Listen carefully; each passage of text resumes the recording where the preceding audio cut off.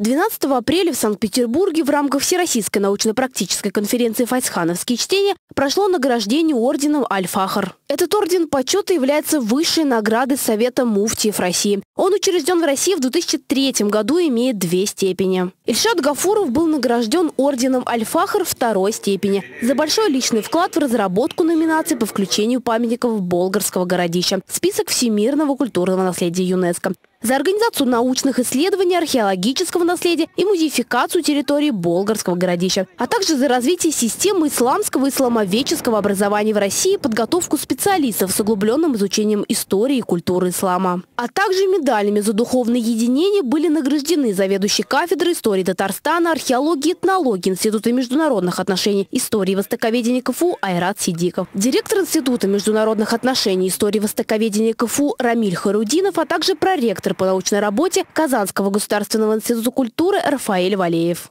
Анна Глазунова, Ленар Давлетьяров, Univer News.